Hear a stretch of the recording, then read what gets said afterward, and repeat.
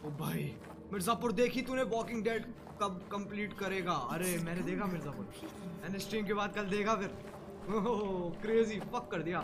मतलब एक जैसे सीक्वल बनाते हैं ना उसके अंदर मतलब फील चेंज कर दी पूरी। Feel in the terms of कि जो मूड था पहले सीज़न में वो बॉम्बली एंड एवरीथिंग वो नहीं है। अब डार्क है सबकी और सब माँ चोदने के लिए तैयार है वो वाली फील है।